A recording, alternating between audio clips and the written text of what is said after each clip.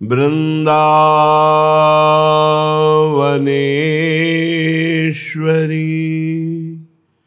तवैव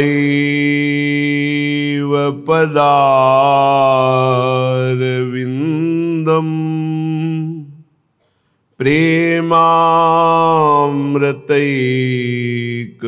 प्रेमामृतैकमकरन्द रसौघपूर्णम्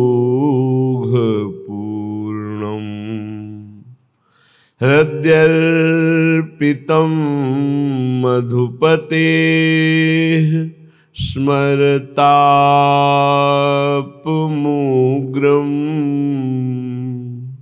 निर्वापयत् परम शीतलमाश्रयामि।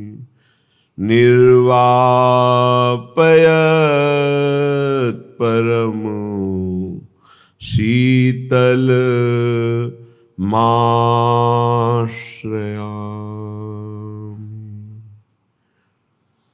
सुंदर स्वामिनी प्यारी हमारी सुंदर स्वामिनी प्यारी हमारी। छवि निधि सहज रूप उजियारी। छवि निधि सहज रूप उजियारी सुंदर स्वामिनी प्यारी हमारी प्यारी हमारी मुख छवि कोटि चंद सोनी को हसन दशन दुति भावती जी को चितवन बरसत दृष्टि अमी की रंग भरी छवि सुखद सुखारी हमारी प्यारी लाडली हमारी सुंदर स्वामिनी प्यारी हमारी। लोचन रहित रूप ललचाने सपने हूँ तुम बिनु और न जाने। सपने हूँ तुम बिनु और न जाने। स्वप्न जागृत अवस्था के चिंतन का परिणाम होता है। भूरी सखी कह रही, हे प्रियाजू, स्वप्न में भी मेरे नेत्र किसी और को नहीं देखना चाहते। एकमात्र आप ही जागृत में, स्वप्न में, सुषुप्ति में आप ही। जिसकी जागृत अवस्था निरंतर जिस चिंतन में रहती, उसी प्रकार के उससे स्वप्न देखने को मिलते हैं। महापुरुषों ने कहा, जब तक भागवतिक स्वप्न ना हो, तब तक समझना चाहिए कि सूक्ष्म शरीर में भजन का प्रभाव नहीं पड़ रहा। क्योंकि जागृत अवस्था स्थूल शरीर, सूक्ष्म अवस्था जो स्वप्नावस्था में देखी जाती है, वो मन, बुद्धि, चित्त, अहंकार, पाँच ज्ञान इंद्रियाँ इस सूक्ष्म शरीर, कारण शरीर की अवस्था सुषुप्ति। सूक्ष्म शरीर की अवस्था स्वप्न स्थूल शरीर की अवस्था जागृत। अगर हमारा स्थूल शरीर से साधन भागवतिक है तो सूक्ष्म शरीर पर प्रभाव पड़ेगा। यदि हमारा भागवतिक साधन नहीं तो सूक्ष्म शरीर में अभी प्रभाव नहीं। तो आप कहेंगे, हमारा तो भागवतिक साधन चलता है, पर स्वप्न सही नहीं आते। तो इसका मतलब है, कहीं ना कहीं अभी मिलावट है। जिस दिन अनन्य भाव से आराध्य देव का चिंतन होगा तो स्वप्न में भी अन्य कोई नहीं आएगा। ऐसे स्वप्न होते हैं कि जागृत की अवस्था भी चुभने लगती है कि क्यों जागृत हुए? स्वप्न में ही रहते, बहुत उत्तम था। ऐसे अद्भुत अद्भुत स्वप्न। कब? जब हमारी जागृत अवस्था प्रियाजू में ही व्यतीत होती है तब। तब तीनों अवस्थाएँ, तीनों शरीर प्रियालाल के सानिध्य का अनुभव करते हैं। स्थूल में प्रगट सेवा, प्रगट चिंतन के प्रभाव से, सूक्ष्म में भावदेह के चिंतन के प्रभाव से, वो हर समय अपने आराध्य देव के सानिध्य का अनुभव करता है तो उसका स्वभाव बन जाता है।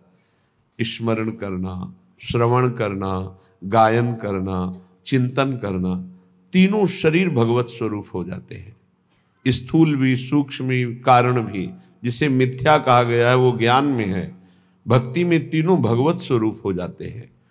इसीलिए जागृत, स्वप्न, सुषुप्ति, स्फुरति में राधा पदाब्ज छठा चाहे जागृत अवस्था हो या स्वप्न हो या सुषुप्ति हो, केवल किशोरी जू के चरणारविंद का अस्तित्व। अन्य कोई अस्तित्व नहीं। ये बहुत उत्तम अवस्था उपासक की होती है।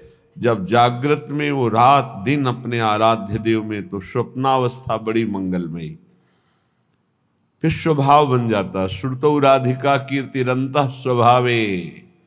अंत से स्वभाव बन जाता है, प्रियालाल की चर्चा सुनना, मंत्र अंदर से सुनना, नाम सुनना, और गायन करने का भी स्वभाव बन जाता है। प्राण रमी रही हरिवंश बाणी। ताहि तजी और गाउन कबहू कछु, प्राण रमी रही हरिवंश बाणी। यह जो पर्यो सहज स्वभाव, श्री हरिवंश नाम रस चाओ कितना सुंदर स्वभाव बन जाता है उपासक का। नाम, मंत्र, वाणी, लीला, चिंतन। अब उसकी जागृत स्वप्न सुषुप्त तीनों अवस्थाएँ जब भगवत स्वरूप हो गई तो जीवन मुक्त हो गया। इसमें प्रधानता हुई स्थूल शरीर की। स्थूल से ही सूक्ष्म में प्रवेश, सूक्ष्म से ही कारण में प्रवेश, और कारण जहाँ परिवर्तित हुआ तो माया का प्रभाव खत्म हो गया। कारण तक माया का प्रभाव है, इसके बाद तो स्वरूपानंद है। भूरी सखी कह रही हैं, लोचन रहित रूप ललचाने, सपने हो तुम बिन और न जाने। तो ऐसा लगता है अभी तक रूप नहीं देखा। बोले, नहीं देखा? सुंदर स्वामिनी प्यारी हमारी छविनिधि सहज रूप उजियारी। ये देख के ही तो बोल रहे हैं। मुख छवि कोटि चंद सोनी को, ये देख के ही तो बोल रहे हैं। हसन दसन द्वितीय भावती जी को, जब हमारी स्वामिनी जो हंसती हैं तो उनकी जो दंत पंक्तियाँ हैं, अधरों की लालिमा के कारण ऐसी शोभा, ये देख के बोल रहे और जब स्वामिनी जो मुस्कुराते हुए अपने जन की तरफ़ देखती हैं तो चितवन बरसत दृष्टि अमी की। उनकी कृपा कटाक्ष से अमृत की वर्षा होती है। रंग भरी छवि सुखद सुखाई प्यारी जू की दृष्टि पड़ते ही ऐसा प्रेम रंग हृदय में उल्लसित होता है कि अद्भुत सुख का अनुभव होता है। पर लोचन ललचाने, इतना होने पर भी रूप के प्यासे लोचन ललचाते ही रहते हैं। प्रतिक्षण रूप का पान करते हुए भी प्यास बढ़ती रहती है। सपने हो तुम बिन और न जाने। खास बात जो इसमें निकली, वो ये सपने हो तुम बिन और न जाने। यहाँ कचाई है। उपासक यहाँ कचाई कर देता है। सपने हो तुम बिन और न जाने। ये खास बात महापुरुषों में पाई गई है। श्री विठल विपुल देव जी महाराज कह रहे यह जोरी अविचल वृंदावन नाहिन आन सुकाज। श्री हरिव्यास देवाचार्य जी के सना, सदा सनातन इक रस जोरी, जो महिमा निगम न जानी। इनकी श्री हरि प्रिया हेतु निज दासी रहत सदा आगवानी केवल इनकी। ये होना बहुत कठिन है। ये हो गया तो माया पर विजय प्राप्त कर ली। कैसे हो सकता है? तो आगे कह रहे शिशु लो बार बार हठ ठाने, चहु दिश रहेत, निहारी निहारी, सुंदर स्वामिनी, प्यारी हमारी, शिशु लो। जैसे छोटा बच्चा हट ठान लेता है, मुझे खिलौना चाहिए। फिर उसे कुछ भी दो, कोई उपाय करो, उसको वही खिलौना चाहिए। बाल हट कहते हैं। ऐसे ही भक्त का हट हो जाता है, योगी का हट हो जाता है, अपने आराध्य देव के प्रति। मुझे आपके सिवा और कुछ नहीं चाहिए। आपके सिवा कुछ। ये कोई महान हृदय ही हट करता है। आपके सिवा मुझे कुछ नहीं नहीं, ये भोग ले लो, ये पद ले लो, ये प्रशंसा ले लो, ये लोक लोकांतर का वैभव ले लो। नहीं, मुझे आप चाहिए। शिशु लो बार बार हट ठाने। बच्चे जैसे बिरज जाते हैं, ऐसे बिरज जाओ लाड़ली लाल से। मुझे आप चाहिए। वो चारों दिशाओं में निहारता रहता है, किधर से हमारी प्रिया जो पधार रही है। तो हँसी कृपालु विधु बदन दिखावे, सहज माधुरी पान करावे। तो श्री जी को हँसी आ जाती है, बड़ा हठीला है, मानेगा नहीं। तो हँसी कृपालु विधु बदन दिखावे, उसी समय श्री जी प्रकट हो जाती है। सहज माधुरी पान करावे, जो रूप रुचिर अंग अंग माधुरी बिन भूषण भूषित ब्रजगोरी, ऐसे सौंदर्य का, ऐसे महामाधुर्य रस का पान उपासक करने की योग्यता प्राप्त करता है श्री स्वामी जी की कृपा कटाक्ष से। भोरी ही की आस पुजाओ, तन मन रहो चरण परवारी मेरा तन, मन, प्राण सब आपके चरणों में न्यौछावर है। हे मेरी लाडली जू मेरी ये आस पूरी कर दो कि जागृत में, स्वप्न में सुषुप्त में एकमात्र केवल आपका ही आश्रय, आपका ही चिंतन है। अब यहाँ कई बार एकांतिक हृदय की बात आप सबसे कही कि भगवत प्राप्ति आश्रय से होती है। बोलो, सुषुप्ति में क्या होता है? सुषुप्ति में क्या होता है? एकमात्र आश्रय होता है। मूर्छा में क्या होता है? एकमात्र आश्रय होता है। जब हम गाढ़ निद्रा में होते हैं तो जो हम सोचकर सो रहे होते हैं, और जब जगते हैं तो पूरा समय उसी में माना जाता है। ध्यान रखना, ये सिद्धांत है। जैसे सोते हुए राधा राधा राधा। फिर जब जगे तो निश्चित देखना उस समय चलेगा, राधा राधा राधा। तो आपका जितना समय नींद में गया, वो सब भजन माना जाएगा। निद्रा समाधि स्थिति। जो समाधिस्थ महापुरुषों को लाभ मिलता है, वही भक्त को निद्रा में भी प्राप्त हो जाता है। क्यों? वो अपने इष्ट में सोता है। इष्ट में जगता है, इष्ट में विचरता है, इष्ट में व्यवहार करता है। श्रीपाद प्रबोधानंद जी महाराज कह रहे हैं सकृदपि यदि दृष्टा हंत वृंदाटवी तम सकृदपि यदि राधा कृष्ण नामाभ्यधाई सकृदपि यदि भक्त्या सन्नतस्त्वत्प्रपन्नो। ध्रुव मह तदा माम्बनोपोक्षतासी आह। एक बार सकृदपि कहते हैं, एक बार, सकृदपि यदि दृष्टा हंत वृंदा टवी तम हंत, हा। हाय, उसने अपने जीवन को व्यर्थ नष्ट कर दिया, जिसने एक बार भी वृंदावन का दर्शन नहीं किया। और यदि एक बार वृंदावन का दर्शन कर लिया, जीवन में एक बार, वो कभी नरक नहीं जाएगा।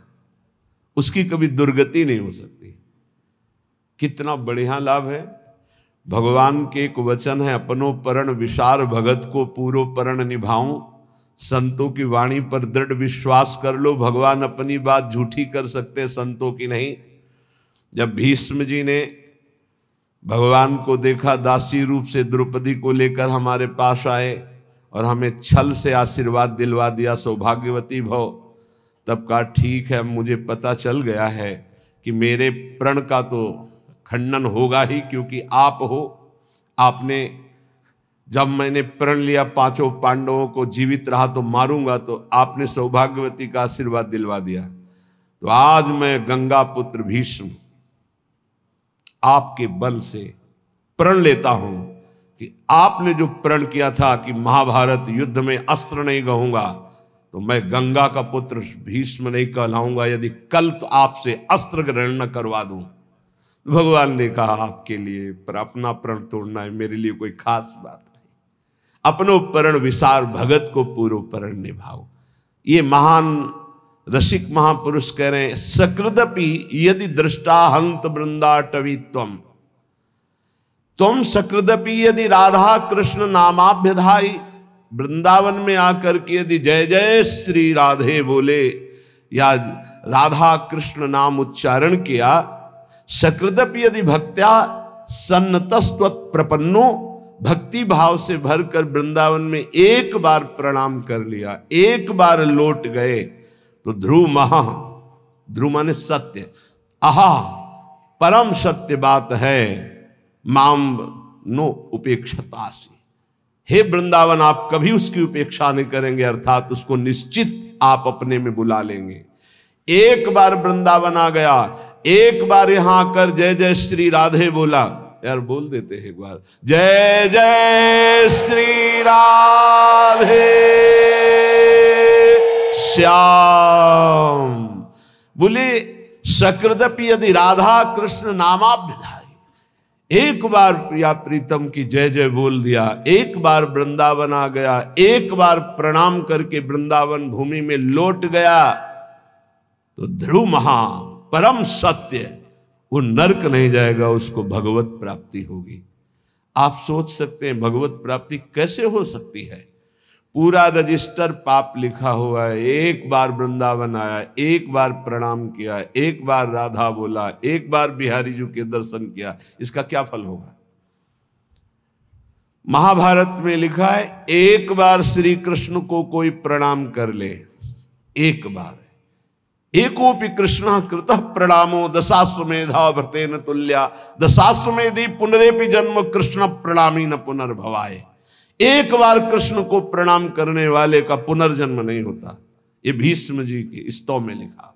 अब आप विचार करके देखो, जहाँ प्रिया प्रीतम विराजमान इस भूमि में लौट गया, रसिकों की चरण रज, प्रिया प्रीतम की चरण रज, एक बार बिहारी बिहारी जी को प्रणाम कर दिया, एक बार उनकी जय जयकार कर दिया, वो नरक नहीं जा सकता, श्रीपाद कह रहे इसलिए वृंदावने सैक पदस्पृहोपि महत्तमानाम श्रुत भाषितोपि विदन्नपि स्वार्थ विधाति सर्वम हाधिंग वृंदावनाश्रयामी महापुरुषों के वचनों में भी तुम विश्वास नहीं करते हो। कैसा तुम्हारा जीवन है? कम से कम अन्य बातों पर विश्वास ना करो। महापुरुषों के वचनों में तो विश्वास कर लो। महात्मा महात्मानाम श्रुत भाषितोपि। सुन रहे हो तुम महापुरुष जन वचन बोल रहे हैं। वृंदावनेशक पदस्प्रियोपी एक बार तो इच्छा कर लो ऐसे वृंदावन में आने की, जहाँ एक बार आने का, एक बार दर्शन का, एक बार जय जयकार का, एक बार प्रणाम का। ये भगवत प्राप्ति तुम बहुत दुर्लभ समझते हो। सबसे सरल है भगवत प्राप्ति। सबसे सरल। तो बोले, बहुत बड़ी बड़ी तपस्याएँ, बहुत कष्ट सहा जा रहा है, और आप कह रहे हैं बहुत सरल है। तुम्हें बाहरी दिखाई दे रहा कष्ट है, जो तप करता है, उसे बड़ा सुख मिलता है। जो वैराग्यवान है, उसको भोगी जन कष्ट देखते लेकिन वैराग्यवान भोगी जनों को कष्ट में देख रहा कितने कष्ट में जल रहे हैं। तुम्हें वैराग्यवान कष्ट युक्त लग रहा है कि दिगंबर है या एक लंगूटी लगाए है, भूखा प्यासा है, उसको जो परमानंद है वो ब्रह्मा को भी नहीं है। वैराग्यवान को, फिर बोधवान को, फिर प्रेमी को तो बात ही क्या है? महत्मानाम श्रुत भाषितोपी ये बड़े बड़े महापुरुष जो बोल रहे हैं, उसे सुनो। जितने भी संबंधी हैं, जितने भी भोग पदार्थ है, जितना भी ऐश्वर्य है, ये परमार्थ को विध्वंस करने वाला है। परमार्थ को। विदन्नपि स्वार्थ विधात सर्वम हाधिंग धिक्कार है यदि आप अपने परमार्थ के नाश करने वाली क्रिया करते हो, परमार्थ के नाश करने वाली बातें देखते हो, सुनते हो, बोलते हो तुम महापुरुषों की बातें सुनकर भी उनके आज्ञा में क्यों नहीं चलते हो? क्या आज्ञा वृंदावने शैक पदस्प्रियोपी एक बार कदम बढ़ाओ ना सीधा वृंदावन की तरफ़। और एक बार वृंदावन में आ जाओगे तो तुम्हारे जीवन का परिवर्तन हो जाएगा। पर धिक्कार है। ये सब बातें सुनकर भी भगवत प्राप्ति की इच्छा नहीं जागृत होती। श्रीपाद कह रहे दिव्यानेक विचित्र पुष्प फलवत वल्ली तरुणाम ततिर। दिव्यानेक मयूर कोकिल सुखाद्यानंद माद्यत खगः। दिव्यानेक सरा सरित गिरिवर प्रत्यग्र कुंजावली। दिव्या कांचन रत्न भूमि रपिमाम वृंदावने मोहयत। मुझे मोहित कर रहा है वृंदावन। मोहयत माम वृंदावने मोहयत देखो देखो, मुझे वृंदावन मोहित कर रहा है। कैसा दिव्य वृंदावन प्रकाशित हुआ? दिव्यानेक विचित्र पुष्प फलवद वल्ली तरुणाम तति। कितने सुंदर सुंदर वृक्षों में कैसी लताएँ लिपटी हुई सुंदर रंग बिरंगे फूल और इतने सुगंधित दिव्य दिव्य अनेक विचित्र लताएँ वृक्षों का आलिंगन किए हुए दिव्य दिव्य पुष्पों के गुच्छे, भावना करो।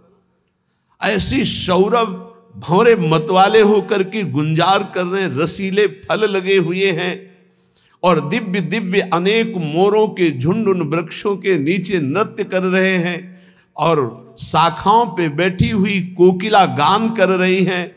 सुख शाखा, जो सुख आदि हैं, पक्षी वो ऐसे आनंद उन्मत्त होकर के गान कर रहे मानो राग रागिनियाँ मूर्तिमान बैठी हो।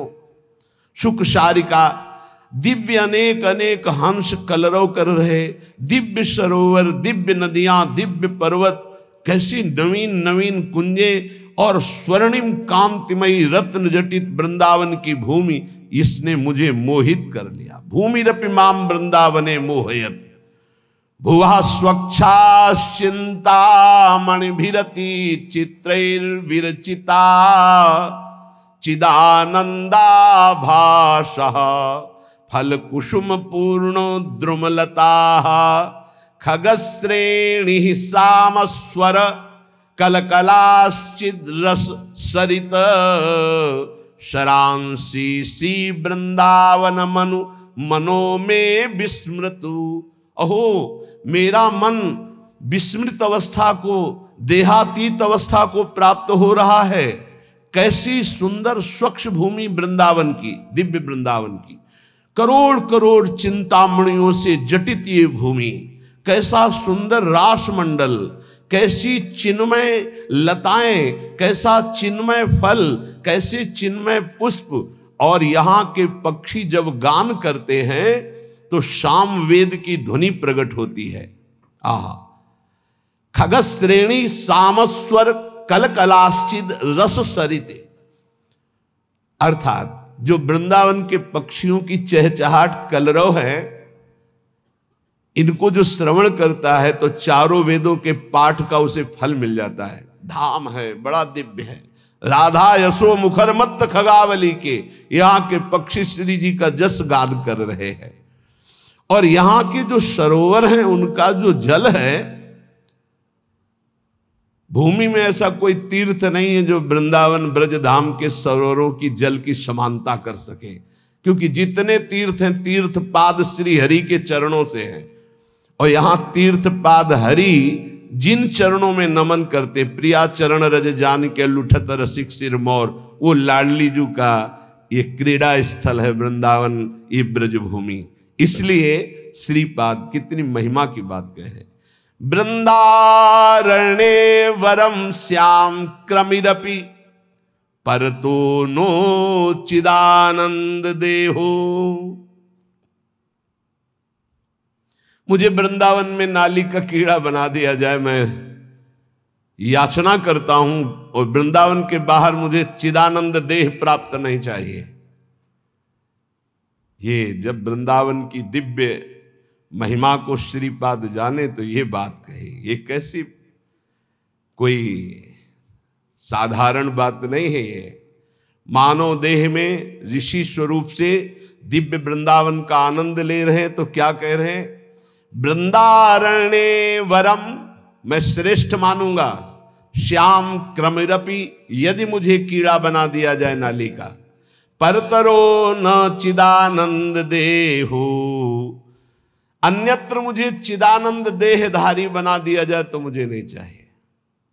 क्या है दिव्य वृंदावन की अनुपम महामाधुरी? श्री भट्ट देवाचार्य जी कह रहे हैं, यदि वृंदावन के बाहर मुझे हरि भी मिले तो मैं आँख उठा के नहीं देखूँगा। विपिन राज सीमा के बाहर हरि हूँ को न निहार, रे मन वृंदा विपिन निहार। यद्यपि मिले कोटि चिंतामणि तो न हाथ पसार। जय श्री भट्ट धूली धूषर तन, यह आशा धार रे मन। वृंदा विपिन निहार। ए भाई, वृंदावन के बाहर हरी भी हो तो आँख मत लड़ाना, मत आँख उठा के देखना, क्योंकि वृंदावन के बाहर होते हुए चतुर्भुज नारायण रूप हो गए। यही ब्रह्महृद क्रूर घाट से बाहर होते ही प्रभु का स्वरूप, चतुर्भुज स्वरूप, भगवान का अद्भुत वैभव प्रकाशित हो गया। क्योंकि वहीं देखा अक्रूर जी ने कि अनंत शेष सैया पर शयन करने वाले चतुर्भुज नारायण वही शेष जी बलराम और वही भगवान नारायण हरि रूप तो हमारे जो द्विज मुरली मनोहर वृंदावन बिहारी नवनिवृत्त निकुंज से पधारे, वो यही हैं। कभी एक कदम भी बाहर नहीं गए। वृंदावन परित्यज्य, पाद में कम न गति ये एकांतिक रहस्य भगवान का प्रेमी जनों के सिवा और कोई नहीं जानता। भगवत रसिक रसिक की बातें रसिक बिना को समझ सके ना। श्रीपाद कह रहे हैं।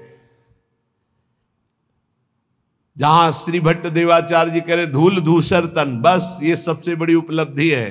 वृंदावन की रजल शरीर में लगी हो और प्राण छूट रहे हो, राधा राधा राधा तो वो बात बनेगी जो बड़े बड़े योग साधना से नहीं बनती।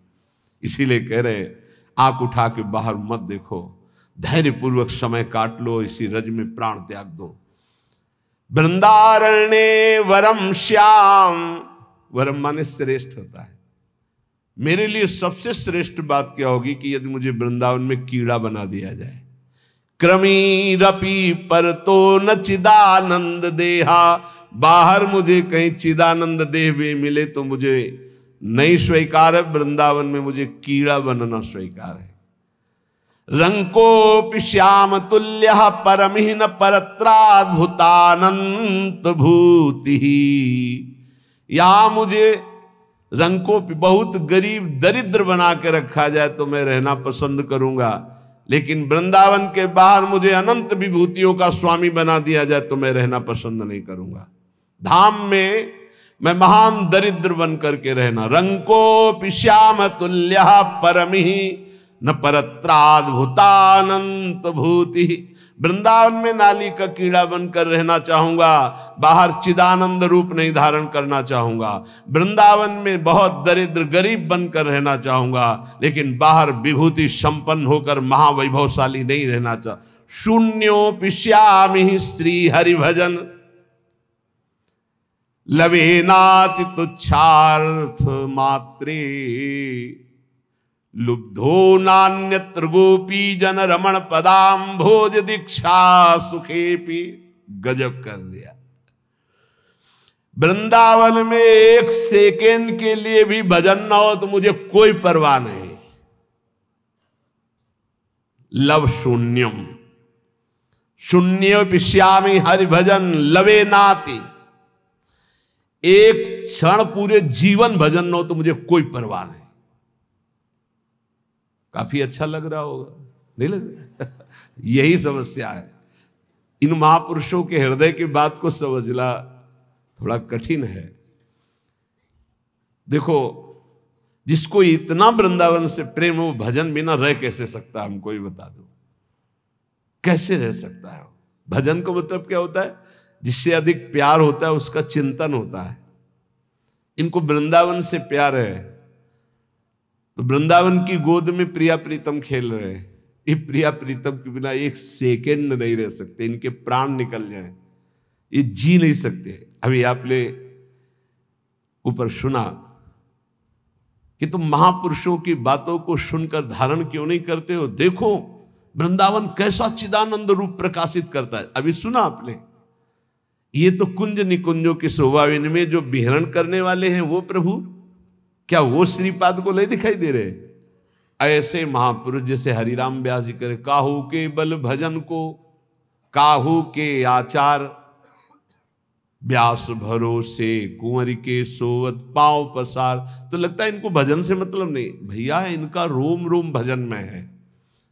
महापुरुषों की बातों को समझना। वृंदावन में जो कबहू कछुक भजन नहीं होए। रज तो उड़ी ला गए तने पीवे, यमुना तो यमुना जी की पावन स्पर्श करती हुई लहरों को जो वायु और रज को लेकर जो वायु बिना भजन कराए छोड़ेगी।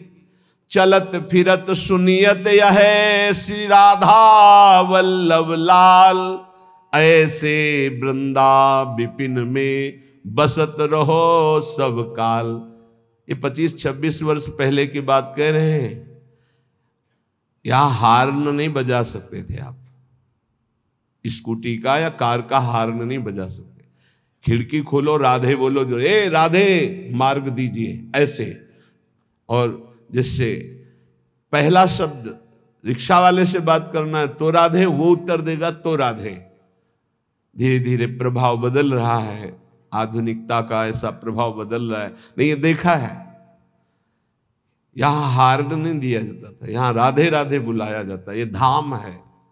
धीरे धीरे वो जैसे हवा चलेगी तो फिर आएगी ना तो आधुनिकता की हवा चली हुई, इतनी बाढ़ आ रही है आधुनिकता की कि नाम छूटता जा रहा है। ये धाम है। मथुरा में यहीं से केवल सीमा पार हो, मथुरा में जय श्री कृष्ण। वहाँ आपको सुनाई दे, वहाँ जय जय श्री राधे, अगर कोई बोलेगा तो वृंदावन का होगा। जय श्री कृष्ण ये केवल महामहिम धाम, इस महापरा विद्या राधा नाम की गूंज हो रही यहाँ। श्रीपाद कह रहे हैं, लव माने बहुत छोटा समय होता है। जीवन में लव भर भी भजन ना हो तो मुझे कोई परवाह नहीं। इसका मतलब समझ रहे हो? वृंदावन वासी का वास ही बहुत बड़ा भजन हो जाता है। भजन के चार अंग हैं, नाम, रूप, लीला, धाम। रूप का चिंतन नहीं हो रहा, नाम जप नहीं हो रहा, लीला चिंतन नहीं हो रहा तो धाम में हो, चारों अंग हैं भजन के। अब जो धाम में उसे नाम अपने आप पकड़ लेगा, देखो वृंदावन का प्रभाव सुनो। ये भजन कराए बिना रह नहीं सकता आपको। हिया फिरे स्वार्थ, आपने भजन गए फिरे बाह। उदंडता मत ले आना अपने मन में ये बात सुन करके। ये निष्ठावान महापुरुषों की जो चरम निष्ठा है, वो भजन की स्थिति ऊपर है, वो कर नहीं रहे, हो रहा है, उनका भजन। वो, उनकी स्थिति को समझना है। कह रहे लव मात्र हरि, भजन ना हो तो भी मुझे कोई परवाह नहीं। नाली का कीड़ा बना दो, बाहर चिदानंद होकर नहीं रहना चाहता वृंदावन में टुकड़े मांगकर जीऊँगा, गरीबी, दरिद्रता से निवास करूँगा, पर बाहर विभूति संपन्न मैं महान वैभवशाली नहीं होना चाहता। वृंदावन में एक लव मात्र के समय का भी भजन न हो तो मुझे कोई परवाह नहीं। आजीवन वृंदावन अखंड वास करूँगा। अब जो आगे की बात कह रहे हैं, बहुत होश से समझना है, नहीं तो गड़बड़ हो जाएगा। कह रहे हैं, लुब्धो नान्यत्र गोपी जन रमण पदाम भोज दीक्षा सुखेपी। तुच्छार्थ मात्रे, तुच्छार्थ कहते हैं भोगों को, तुच्छ अर्थ जिनका निकलता भोग। यदि मेरे हृदय में तुच्छ भोगों की लालसा जागृत है तो भी मैं वृंदावन में ही रहूँगा। उसका अर्थ दूसरे रूप में अगर उसको भावार्थ में लिया जाए तो मैं विषयी होकर वृंदावन में रहना पसंद करूँगा, भजनानंदी बनकर बाहर नहीं। मैं दरिद्र होकर वृंदावन में बसना पसंद करूँगा, वैभवशाली होकर बाहर नहीं। मैं नीच कीड़ा बनकर रहना पसंद करूँगा, चिदानंद देह नहीं। और कह रहे हैं, लुब्धो नान्यत्र, मैं कहीं लुब्धायमान नहीं हो सकता। अगर कोई कहे कि गोपी जन रमण के पाद पद्मों की प्राप्ति में बाहर तुम्हें करा देता हूँ, आ जाओ तो मैं कदापि नहीं जाऊँगा, यहाँ विषयी बनकर रहना पसंद करूँगा। गजब की लिस्टा गजब की लिस्टा आगे एक श्लोक आता है जो कभी भी किसी को बचेगा नहीं। बहुत विचित्र कोटि, निष्ठा वही होती है जो विचित्र कोटि की होती है। श्री कृष्ण के प्रेम में उन्मत्त होकर मैं बाहर रहना नहीं चाहता, लेकिन वृंदावन में घोर विषयी रह, बन करके भी मैं रहना चाहता हूँ। और ऐसे महापुरुष जो ब्रह्म बोध संपन्न है, जो भगवत प्रेम को प्राप्त महापुरुष है, ये भला ऐसा, ये कुछ है वृंदावन की ऐसी महामहिमा जिसमें श्रीपाद लुब्धायमान है। ध्रुवदास जी श्री वृंदावन दास जी, हरिवंश महाप्रभु, प्रथम यथामति प्रणव श्री वृंदावन तिरम्य श्री राधिका कृपा बिल क्योंकि इसमें मेरी प्यारी जो विराजमान वृंदान सर महताम पहाय दूरात वृंदा टभी मनुसर प्रणयन चेता।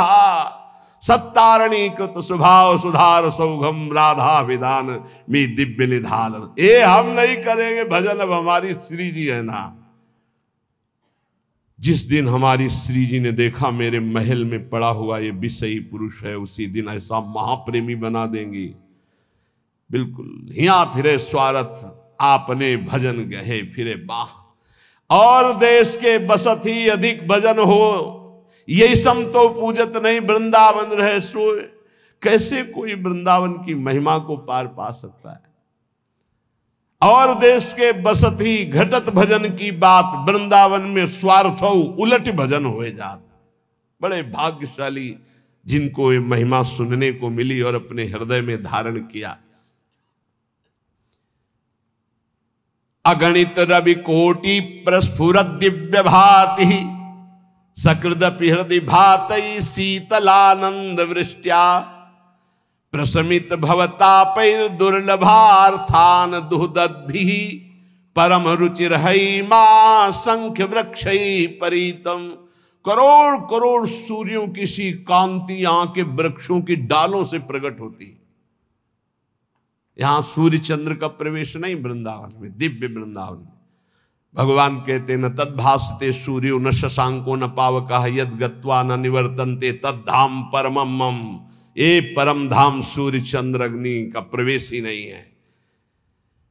बोले, अगणित रवि कोटि, अगणित गिनती नहीं है। ऐसे सूर्य और चंद्रमाओं जैसा प्रकाश वृंदावन की वृक्षों की शाखाओं से प्रकट हो रहा है। कैसा रमणीय वृंदावन, जहाँ हमारे प्रिया प्रीतम गल भैया दिए हुए चल रहे कोई सखी छत्र लिए, कोई चवर लिए, कोई बाजत मृद मृदंग, नाचत सभय सुधंग। नृत्य करते हुए कोई आगे चल रहे, कोई मृदंग वीणा वेणु, ऐसे वाद्य बजा रही, कोई पुष्पांजलि अर्पित करे, कोई जय हो जय हो खग मृग पशु पंछियों का कोलाहल, और ऐसी सुंदर सुंदर दिव्य लताएँ फूली हुई। प्रिया प्रीतम के अंग की सौरभ संपूर्ण वृंदावन को सुवासित कर रही। ए चिदानंद सुख इसीलिए कहते हैं मानव देह से ही ये प्राप्त हो सकता है और सबको सौभाग्य नहीं मिला ये।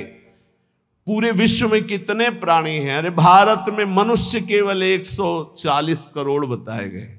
कितने बैठे हैं? दो, पाँच सौ, हज़ार? इतने हैं। कितने सुनेंगे? इनमें कितने पकड़ेंगे? पकड़ने वालों में कितने चलेंगे? चलने वालों में कितने पहुँचेंगे? को एक पाओ जो कहे हरिवंश रस बिरलो समझनहार एक दो ही जो पाइए, खोजी सब संसार। बहुत बढ़िया सौभाग्य है। सीधाम वृंदावन में बैठ करके प्रिया प्रीतम के निज महल की महिमा सुन रहे हैं। अब महापुरुषों की वाणी जो सिद्धांत के है, उसको अपने आचरण में उतारे। ये छह बातें जिसमें होती हैं वो सुख के लिए कार्य तो करता है, पर विपत्तियों में बार बार डूबता रहता है। महापुरुषों की बातें, छह बातें सुख के लिए करने वाले मनुष्य में विपत्तियाँ पैदा करती रहती हैं। पहला, जो भजन से विमुख है और स्वार्थ परायणता में रत है। स्वार्थ परायण। कैसे धन बढ़े, कैसे भोग सामग्री बढ़े, कैसे कैसे। और भजन से विमुख है, वो कुछ भी कर ले, परिणाम में उसे विपत्ति ही भोगनी पड़ेगी। वैसे हमें लगता है ये लिख लेना चाहिए। बिना भजन के कुछ भी कर लो, परिणाम में आपको विपत्ति भोगनी पड़ेगी। हनुमान जी महाराज, कहे हनुमंत, विपत्ति प्रभु सोई, जब तो सुमिरन भजन न होई। चाहे कुछ भी हो, नौकरी कर रहे हो, किसानी कर रहे हो, गृहस्थी, कुछ भी हो, नाम जब ज़रूर करो, तुम्हें विपत्तियों से बचा लेगा नाम जब दूसरा, जो शरीर में शैतान वास करते हैं, उन शैतानों को जो अपने अधिकार में नहीं लिया, उसको विपत्ति प्राप्त होती। शैतान काम, क्रोध, लोभ, मोह, मद, मत्सर, ये दुराचार कराने वाले शैतानों को जो अपने अधिकार में नहीं ले लेता, उनके अधिकार में समर्पित हो जाता है, उसको विपत्ति पे विपत्ति भोगनी पड़ती है। पहला जो नाम जप ना करके केवल स्वार्थ के कार्यों में रत रहता है, कुछ भी कर ले, विपत्ति भोगनी पड़ेगी। दूसरा, जो अपने शरीर को ये अंदर बैठे हुए शैतानों के हवाले समर्पित कर देता है, उनकी गुलामी स्वीकार कर लेता है, काम क्रोध, लोभ, मोह, मद, मत्सर, इनको शासन में नहीं लेता, उसको जीवन भर विपत्ति भोगनी पड़ेगी, शारीरिक, मानसिक, लौकिक, पारलौकिक। तीसरा, जो मृत्यु की तैयारी नहीं करता, उसे विपत्ति ही विपत्ति भोगनी पड़ेगी। मृत्यु की तैयारी कई बार चर्चा हो चुकी है। मृत्यु की तैयारी।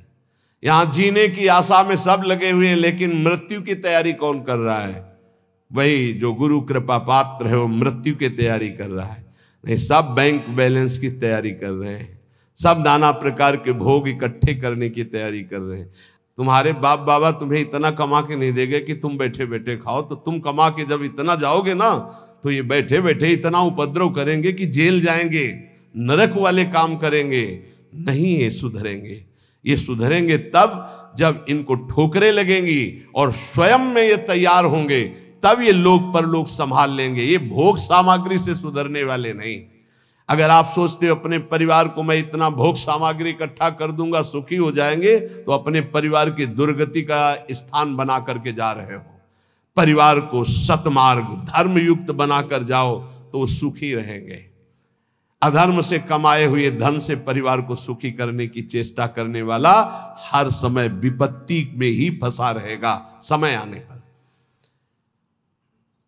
मृत्यु की तैयारी न करने वाला विपत्ति में फंसता है। चौथा है, जो दूसरे के रिझाने में पूरा जीवन बर्बाद कर देता है। दूसरे के रिझाने ईश्वर से विमुख होकर दूसरों को संतुष्ट करने में पूरा जीवन व्यतीत कर देता है, उसको विपत्ति भोगनी पड़ती है।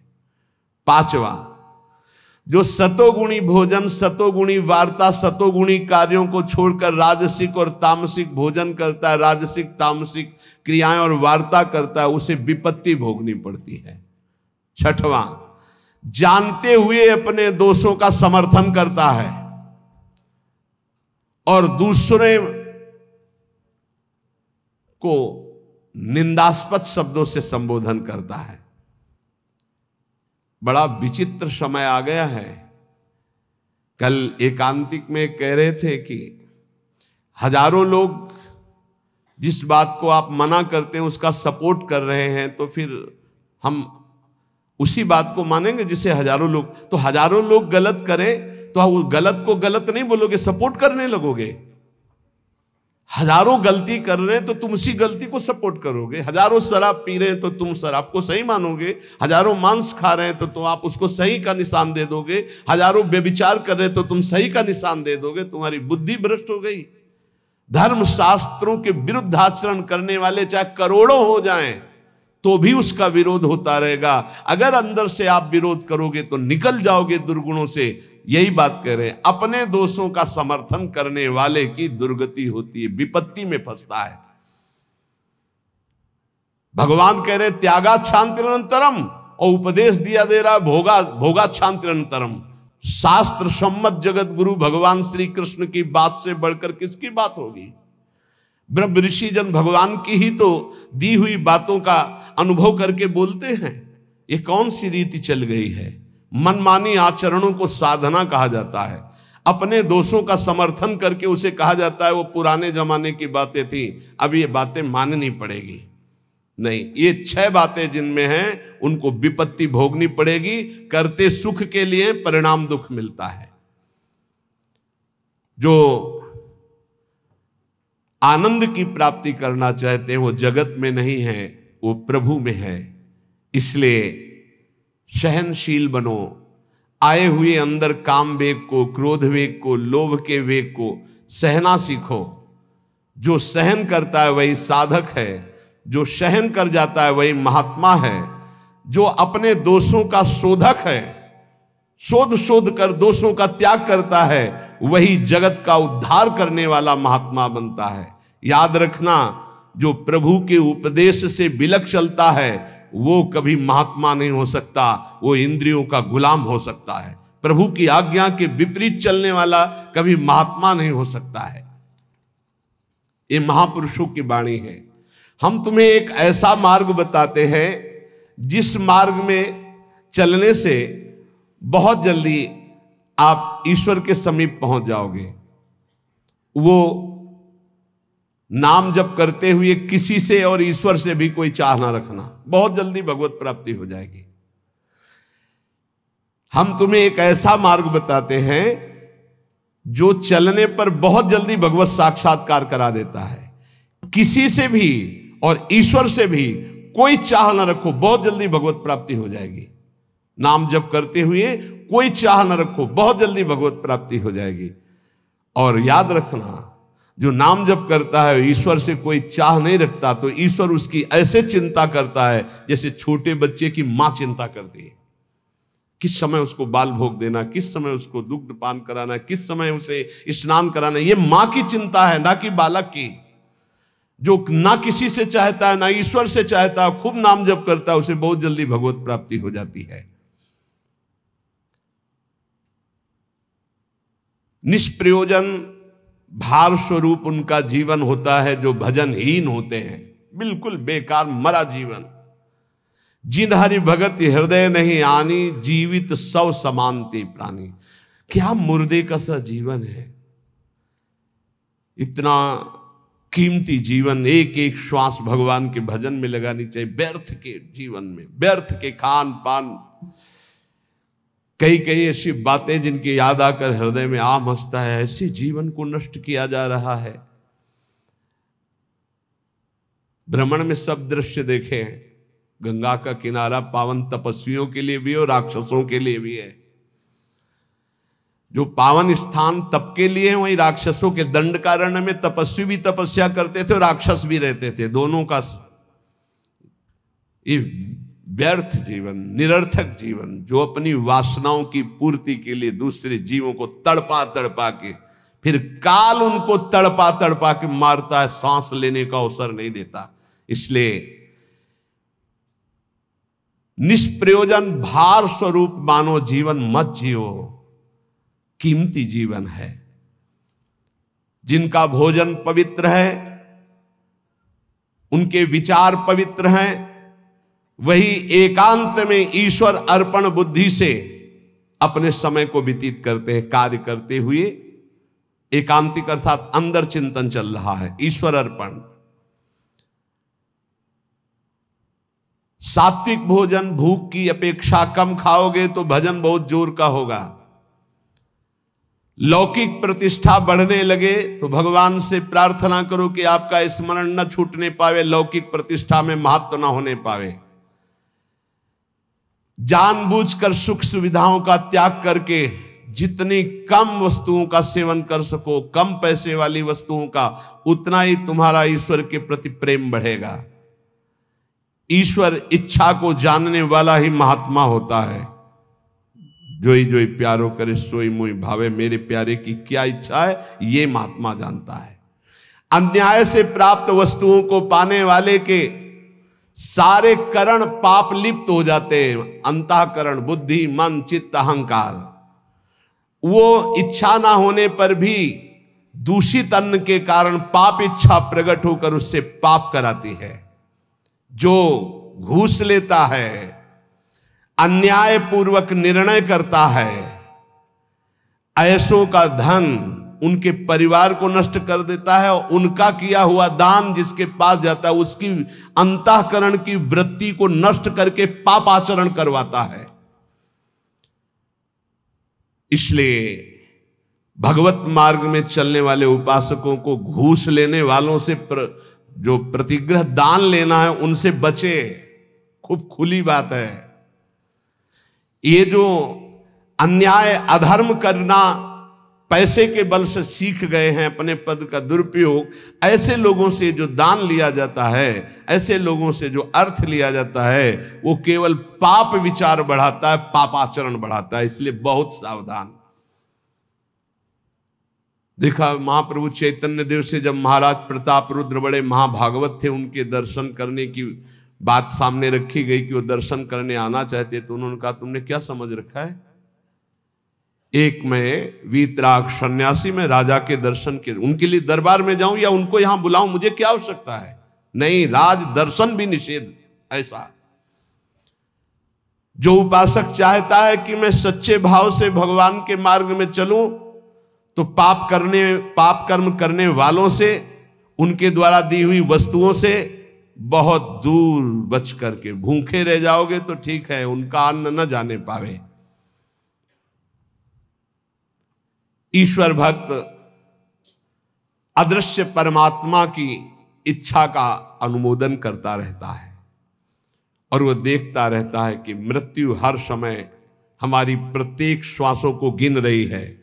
इसलिए वो सर्वांग सुंदर होने पर भी अपने शरीर का राग नहीं रखता और तपश्चर्या के द्वारा, शरीर के द्वारा भगवान को प्राप्त कर लेता है। ईश्वर के शिवा दूसरी कोई भी वस्तु मिलेगी, वो टिकाऊ नहीं होगी, परिवर्तनशील होगी, नाशवान होगी। मनुष्य जीवन प्राप्त करके ईश्वर को प्राप्त करना ही खास वस्तु प्राप्त करना है। बाहर से निर्धन देखने वाला उस नाम जापक को नहीं जानता कि कितना बड़ा धनी सर्वलोक महेश्वर भगवान को अपने अधीन किए रहता है, जो निरंतर नाम जप करते हुए बाहर से निर्धन रहता है। तुम बाहर से निर्धन दिखते हुए अंदर से महान धनी हो, यदि नाम जप करते हो, और ये बाहर से जो धनी दिखाते हैं, अंदर से खोखले हैं, इनके पास अहंकार, गर्व के सिवा कोई सच्चिदानंद बात नहीं है। इसलिए ईश्वर का अवलंबन, अर्थात भगवान की शरणागति, ऋषि, मुनि भक्त जनों के द्वारा जो दिए गए वचन, उनका मनन खान पान पवित्र जगह से। हिंसा और निंदा करने वालों से बिल्कुल बचो। उनका कोई भी शब्द या भोजन या संग ना आने पावे। निषिद्ध विषयों से दूर रहो। कुछ भी भोगने की इच्छा उठे, उसको दबाकर रौंद डालो। ये तब भगवत प्राप्ति की योग्य बनता है। जो महात्मा आचार विचार परायण होकर धर्म में चले हैं, उन्हीं के अनुसार चलो। सत्कार्यों में स्थिति प्राप्त करने के लिए उन महात्माओं का अनुसरण अत्यंत आवश्यक है। इस जगत में प्रभु के समान कोई सच्चा सहायक नहीं है। मूर्तिमान प्रभु के सहायक स्वरूप ये महापुरुष जन है, इन्हीं का आश्रय ले लो, इन्हीं के पीछे चलो तो सतमार्ग का दर्शन हो जाएगा।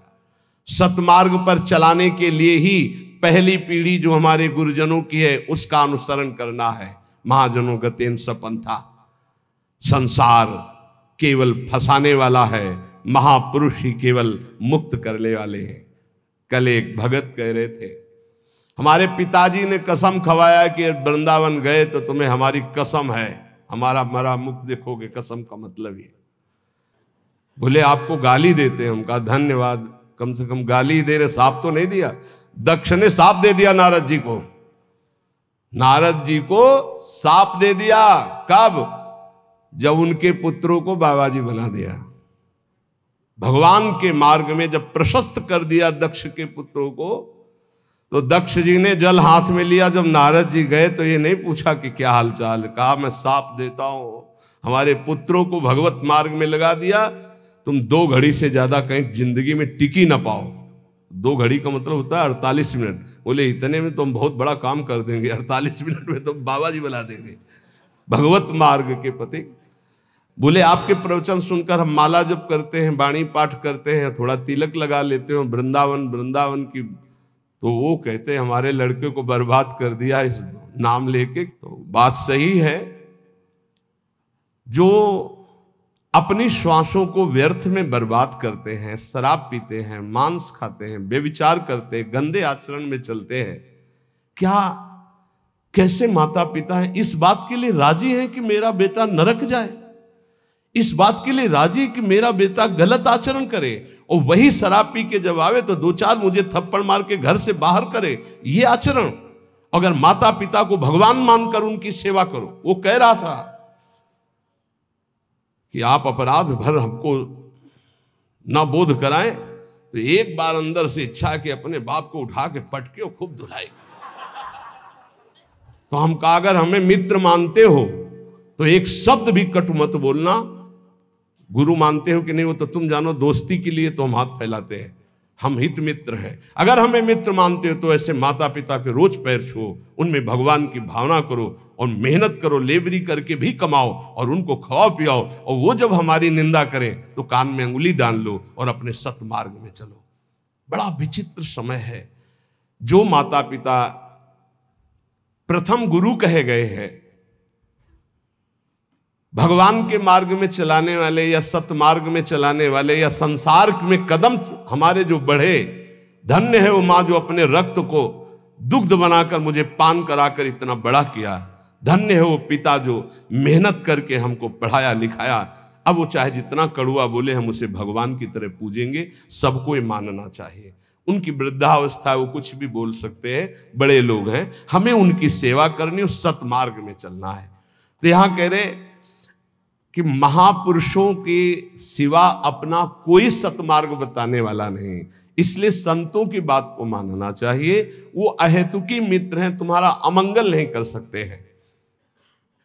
इस जगत में प्रभु के समान कोई सच्चा सहायक नहीं, और प्रभु ही महापुरुषों के रूप में प्रेरित करते हैं आकर के अपने मार्ग को। इसलिए मन को सत्य मार्ग में चलाने के लिए पहली सीढ़ी संत महापुरुषों के वचनों के आधार पर चलो। आज हम सबके ऋणी हैं, सच्ची हृदय से ऋणी हैं, धन्यवाद देते हैं। कि आज इस कलयुग के प्रचंड तांडव काल में आप संतों की बात मान रहे हैं, इसलिए हम आपके चरणों में प्रणाम करते हैं, क्योंकि इसमें आपका मंगल है। आप स्वस्थ रहेंगे, आप भगवत भजन करते हुए अच्छे आचरण वाले रहेंगे तो आप हमारे बहुत बड़े हितैषी हुए, क्योंकि आप सुखी हैं, आपका मंगल हुआ तो मेरे कर्तव्य का पालन हो गया। मेरे साधु वेश का धारण करना सार्थक हो गया। आप हमारे बड़े सहयोगी हैं, आप हमारी भागवती उन्नति के बहुत बड़े कारण बन गए, क्योंकि हम धन्यवाद के पात्र तभी बनेंगे जब हमारी बात को मानकर आप धन्य हो जाएँगे। हमारा कल्याण हो गया, हमारा मोक्ष हो गया तो बहुत छोटी बात है। अगर हमारी बात से आपका कल्याण न हुआ तो हमारी बात की बात क्या हो रहेगी? तो हमारी बात को सार्थक और समर्थ बनाना आपका कर्तव्य है। यदि आपने अपने कर्तव्य का पालन किया तो मेरे कर्तव्य का अपने आप पालन हो जाएगा कि मेरा साधु वेश धारण करना, मेरा जीवन धारण करना, मेरा भजन करना, मेरा सतमार्ग में चलना सार्थक हो गया। हमारे देश के यदि दो चार हज़ार लोग भी कुमार्गामी प्रवृत्तियों को छोड़कर भगवत मार्ग में चल रहे तो हृदय से आशीर्वाद देता हूँ। आशीष देने के लिए तपस्या की ज़रूरत नहीं होती। माँ अपने बच्चे को आशीष देती, तपस्या से नहीं, दुलार से। आप स्वस्थ रहिए, आपकी बुद्धि स्वस्थ रहे, आपके जीवन का परम लक्ष्य भगवत प्राप्ति आपके हाथ में आवे, आप कभी गलत आचरणों में ना फंसे।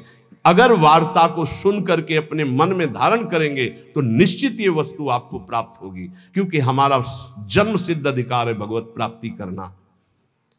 जो संतों में पूर्ण श्रद्धा रखते हैं, अध्यात्म विषय में चलना चाहते हैं, उनको परमात्मा साक्षात्कार निश्चित हो जाता है।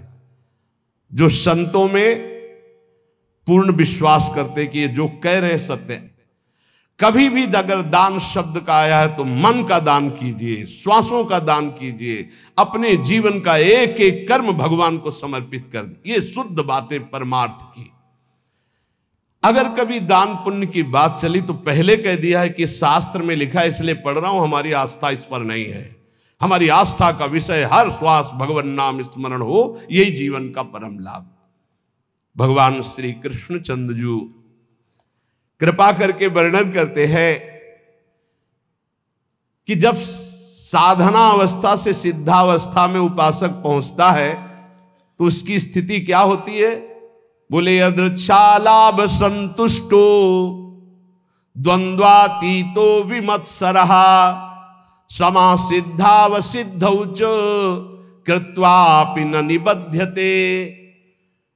अपने आप जो कुछ भगवान की इच्छा से व्यवस्था हो जाती है, उसमें वो संतुष्ट रहता है सिद्ध पुरुष।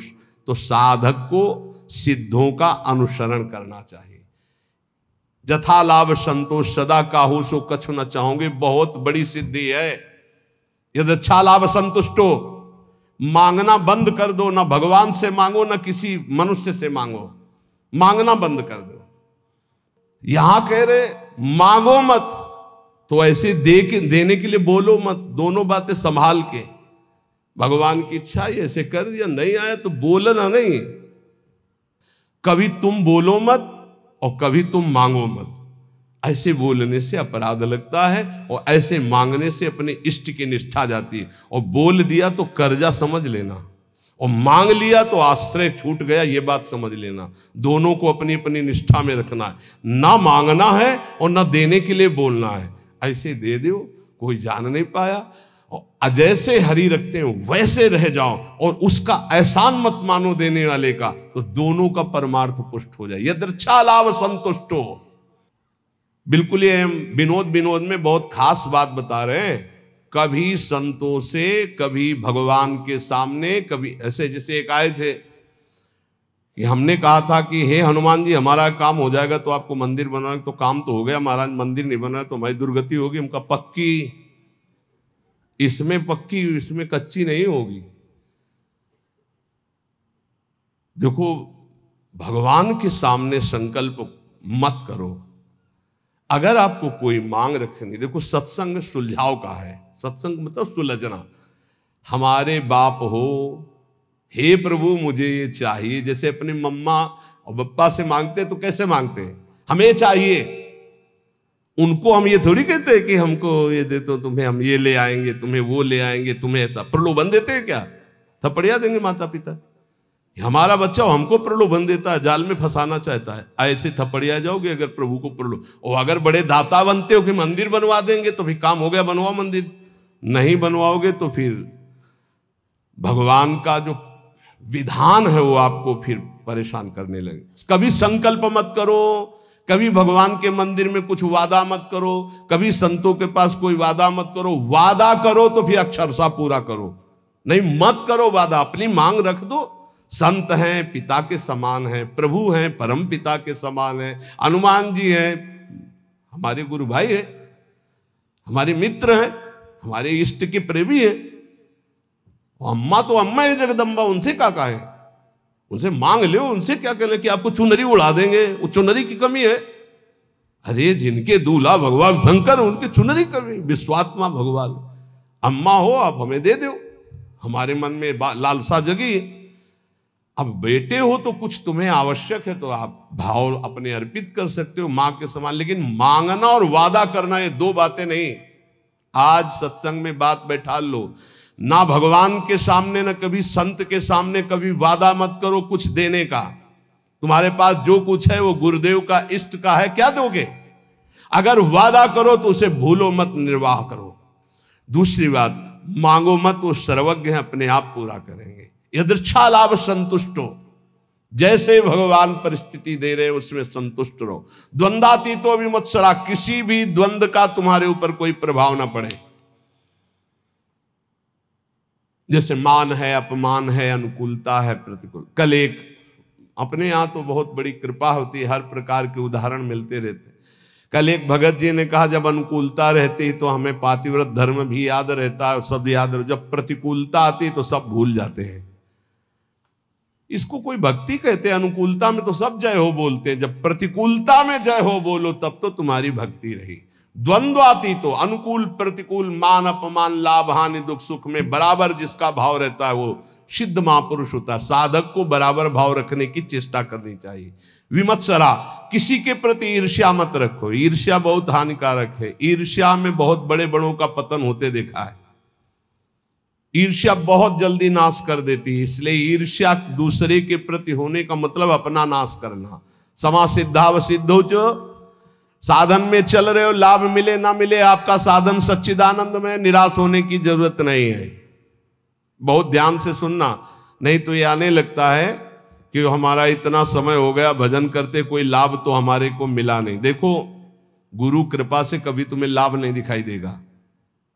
गुरु कृपा से। और जब लाभ दिखाई देने लगे तो जान लेना अकृपा आ गई है। क्यों? अहंकार के बिना लाभ का अनुभव नहीं होता। जब अहंकार आता है, तब लगता है मेरे में सदगुण आ गया। और जब दैन्यता आती तो बड़े बड़े सिद्ध महापुरुषों को देखा, कभी उनको यह अनुभव नहीं होता, मैं प्रेमी हूँ, मैं भागवती हूँ। जितने महापुरुषों की वाणी आप पढ़ के देख लीजिए, अहंकार रहित महापुरुष तो अपने को अधम तुच्छ, नीच, मूढ़, कामी, यही शब्द बोले हैं अपने लिए।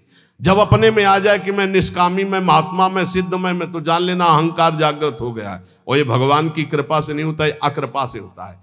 इसलिए समा सिद्धा व सिद्ध हुआ चाहे ऐसी स्थिति दिखाई दे कि हमारे में कुछ लाभ आ गया है, या चाहे दिखाई दे कुछ लाभ नहीं आ गया है, ना फूलो, ना भूलो सम रहो। समा सिद्धा व सिद्धो दोनों में समान भाव रखो, चक्रत्वापि न निबद्धते वो कभी इस माया में बंधता नहीं है। आगे भगवान कह रहे गत संगस्य मुक्त ज्ञानावस्थित चेतस। यज्ञायाचरत कर्म समग्रम प्रविलीयते। किसी के भी संग का कोई भी रंग ना चढ़ने पावे, उसे सिद्ध पुरुष कहते हैं। जित संग दोषा। चाहे वो घोर पापी हो, नीच हो बेविचारी हो, दुराचारी हो, नाना प्रकार की भोग सामग्री, बहिर्मुख पुरुषों का सब कोई फ़र्क नहीं, वो अपने रंग में है।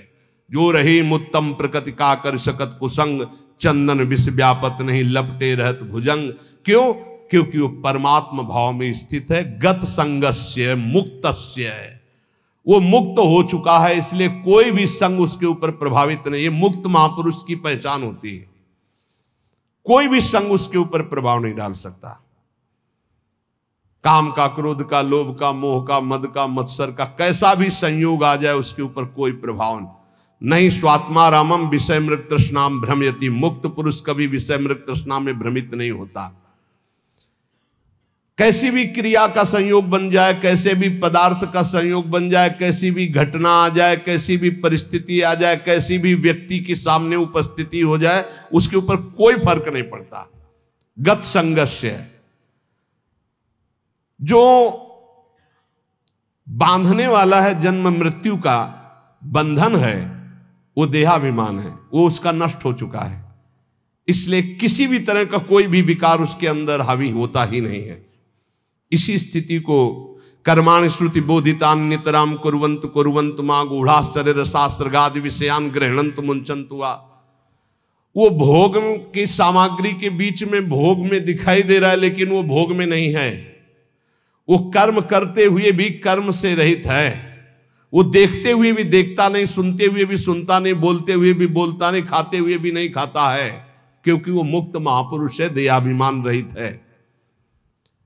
लोक संग्रहार्थ उसके धर्म कार्य हो रहे हैं, लेकिन उनका कोई फल नहीं है। वो असंग है। क्यों? बोले, मुक्तस्य है। वो मुक्त पुरुष है। तो साधक को इसका अनुसरण करना है। किसी का प्रभाव हमारे ऊपर तब नहीं पड़ेगा जब हर समय हमारे अंदर भगवत चिंतन चलेगा। राधा राधा राधा राधा। अब कोई फंसा नहीं सकता। नाम जितना धीमे होता चला जाएगा, उतना गाढ़ चिंतन विषय होने लगेगा, नाम छूटेगा, क्रिया बन जाएगी। एक सेकंड लगता है अपहरण करने में बुद्धि को।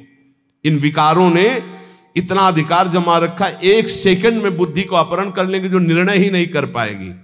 नाम न छूटने पावे। असंगो अहम पुरुष। मैं असंग हूँ। ना कभी कोई मुझे बांधा था, ना कोई बाँध सकता है। यह अनुभव हो जाता है सिद्ध महापुरुष को। किंतु असंग होते हुए उसने संग जिसने कर रखा है, शरीर का, इंद्रियों का, मन का, बुद्धि का, अब उसके ऊपर प्रभाव पड़ेगा पदार्थ का, परिस्थिति का, व्यक्ति का, घटना का, सुख का, दुख का। और जिसने शरीर, इंद्रिया, मन, बुद्धि से अपने को असंग देख लिया, उसके ऊपर कोई प्रभाव नहीं पड़ेगा, उसे ही मुक्त पुरुष कहते हैं। कोई मेरी मन चाही करे या मेरे मन के विरुद्ध करे, कोई फ़र्क नहीं पड़ता। किसका? जो शरीर, इंद्रिय और मन से अलग हो चुका है। अलग क्या हो चुका है? वो तो अलग था ही। हाँ, अनुभव हो गया जिसको ऐसा।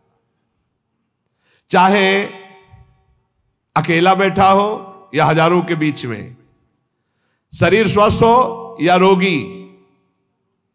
भोग बाहुल्यता हो या किंचन? मन चाही हो या मन के विरुद्ध? कोई फ़र्क नहीं पड़ता उसमें।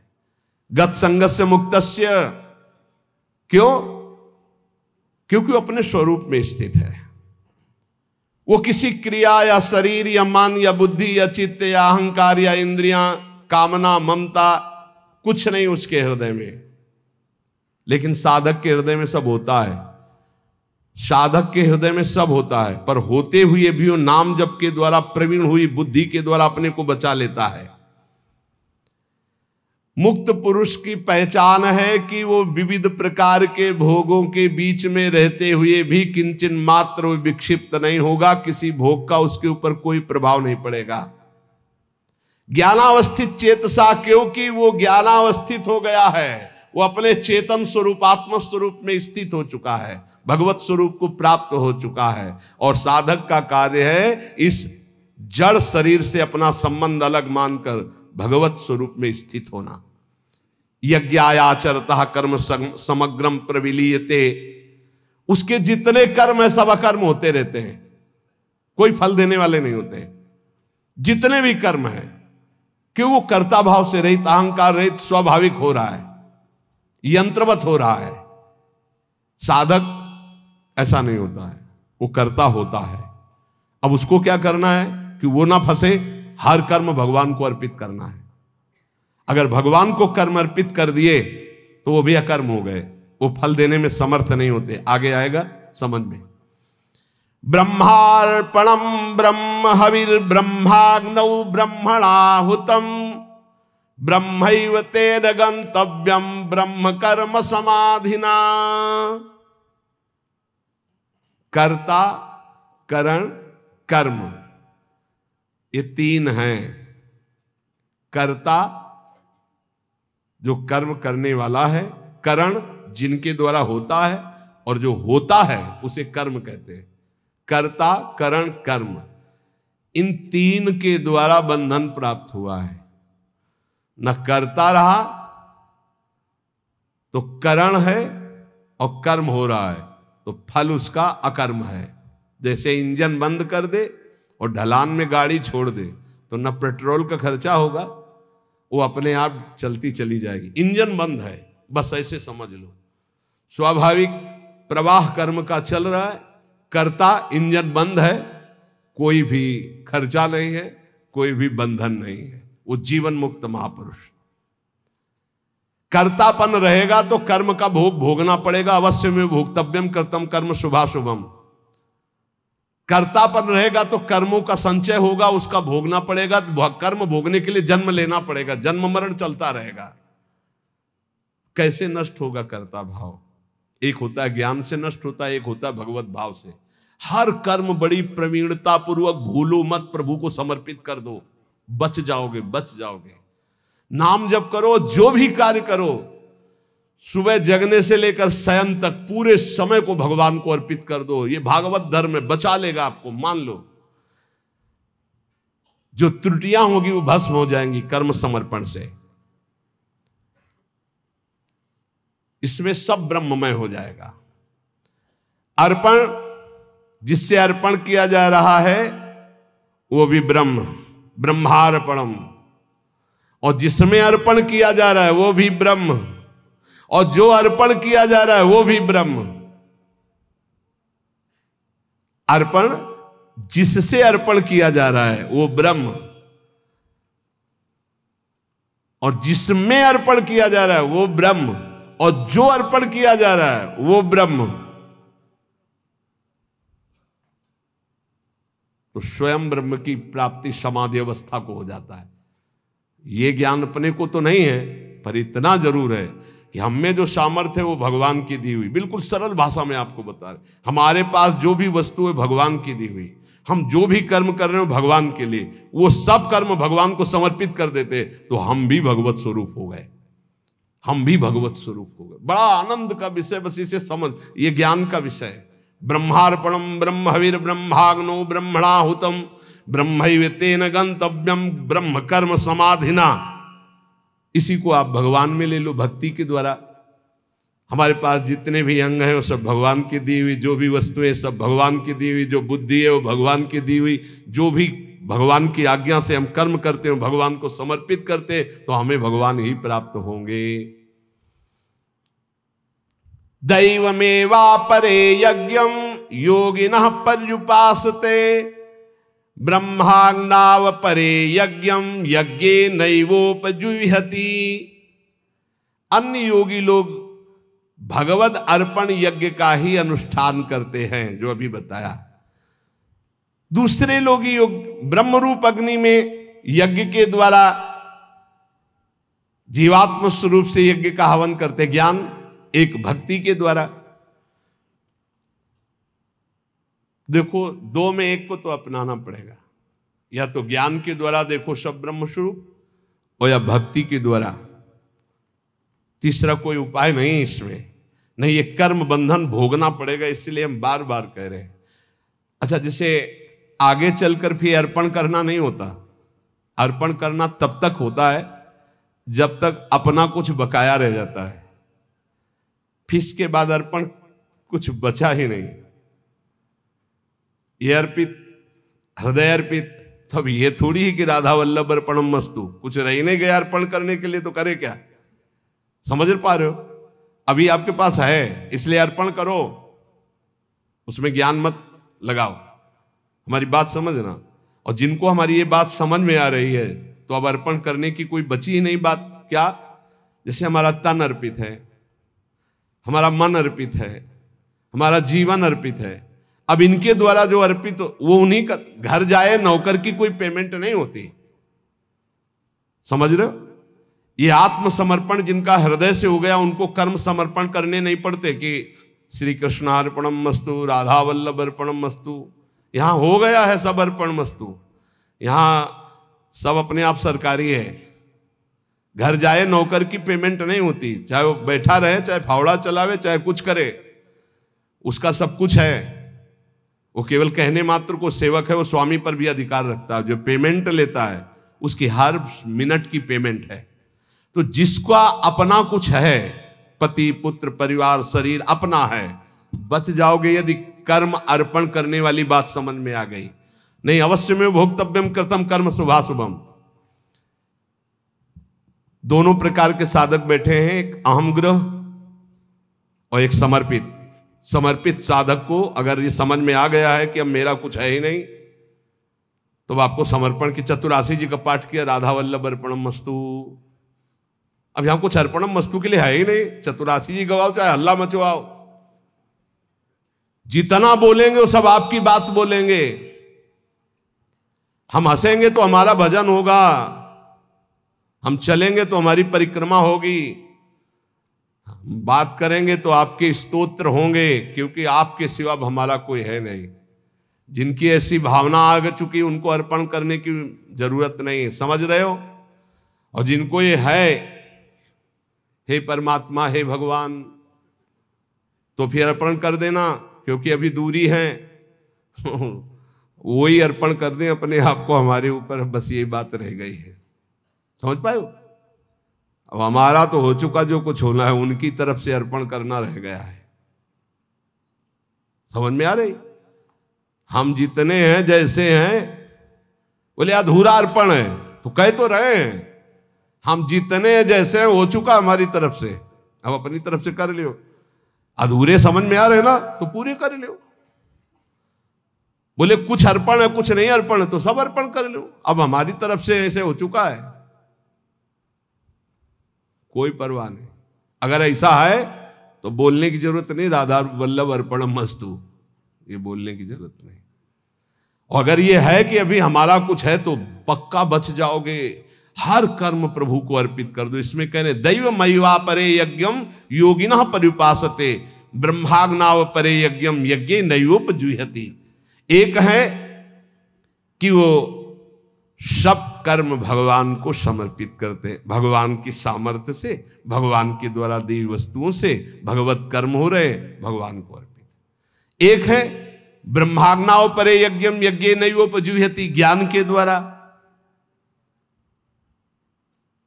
अब अपने अर्पणम मस्तु एक बार हो गई, अब बार बार नहीं होगी। गुरुदेव ने संकल्प करवा के, तनुवांग मनोभिरमल सोहम तो वही आश अब जैसे कोई आपसे कहे कि अधूरा अर्पण है, इसीलिए अनुभव में नहीं आ रहा है। तो आपसे हम सलाह ले रहे हैं क्या? अगर गुरु जी कह दे और श्री जी कह दे तो अब उनसे भी कहना है कि जानते हो ना अधूरा है, आप भी जानते हो ना अधूरा है तो पूरा कर लो, हमारा जितना होना था हो गया। आप कर, हमारी तरफ़ से अब काम खत्म। देख लो अंदर से। बिल्कुल हम वो बात कहते हैं जो मुक्त होना है, श्री जी से मिल जाना है। अपने ऊपर रखोगे तो पूरी ज़िंदगी भर परेशान रहोगे। वो खेलते रहेंगे, तुम्हारी तरफ़ नहीं देखेंगे। जब जान लेंगे ना ये कि अभी हो गया इसका जितना होना था तो वो अपना प्रोसेस शुरू कर देंगे। शुरू करो प्रोसेस बिल्कुल तैयार। वही पूरा सूरा। हम जैसे भी हैं, आपके हैं, वही हुआ पूरा सूरा। वही बलवान हो गया, वही पूरा हो गया। ऐसे ऐसे वही कर सकता है जिसने अपने तन, वांग मनोभीरमल सुहम तो विवाश्रिता हम आपके आश्रित हैं। अब आप पूर्णता अपनी तरफ़ से कर लीजिए। हमारी पूरी जिम्मेवारी उनके हाथ है। हमारी को मतलब समझ रहे हो? जो पूर्ण रूप से ऐसे। जिनका कुछ है, उनके लिए कह रहे हैं कि या तो दो मार्ग, या तो ज्ञान के द्वारा सब ब्रह्म में और या तो भगवान को अर्पित श्रोत्रादीन इंद्रियाण्यन्ये संयमाग्निशुजुहति शब्दादीन विषयान्य इंद्रियाग्निशुजुहति कोई योगी लोग श्रोत्रादि समस्त इंद्रियों को संयम रूप अग्नि में हवन किया करते हैं, दूसरे योगी लोग शब्दादि विषयों को इंद्रिय रूप अग्नियों में हवन किया करते हैं। सर्वाणी इंद्रिय कर्माणी, प्राण कर्माणी चापरे आत्म संयम योगाग्नो जुहति ज्ञान दीपति। कोई योगी संपूर्ण इंद्रियों को क्रियाओं में और प्राणों की क्रियाओं की ज्ञान से प्रकाशित आत्म संयोग में समाधि, योग रूपी अग्नि में हवन किया करते हैं।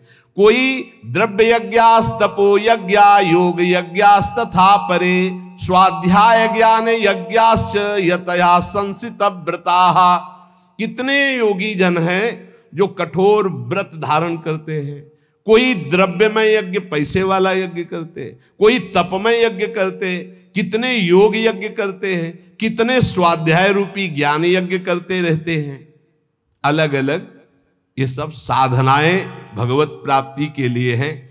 अपाने जुहति प्राणम प्राणे अपानम तथा परे, प्राणापान गति रुद्ध्वा प्राणायाम परायणा।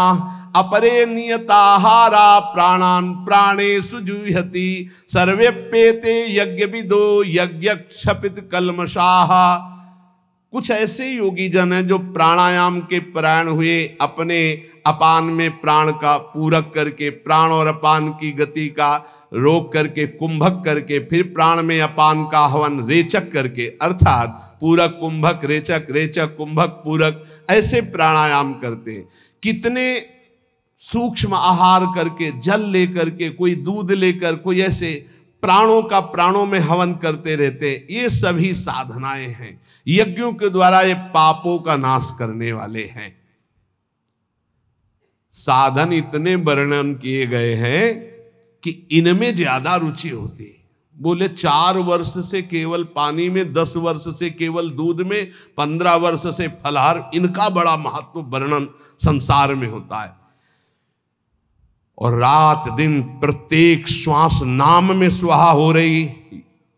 ये सब यज्ञ वर्णन की है, लेकिन भगवान ने सबसे बड़ी यज्ञ कौन कहा है? यज्ञानाम जप यज्ञोष्मी। यज्ञों में सबसे बड़ी यज्ञ मैं हूँ, जप यज्ञ। राधा राधा राधा। न एक रुपया का खर्चा है, और ना आप ये बोल सकते हो कि दस वर्ष से पानी नहीं पी के रह रहे हैं या फलहार करके रह रहे हैं। और इतनी बड़ी यज्ञ कि सब यज्ञ इससे छोटी है। यज्ञा नाम जप यज्ञोष्मी।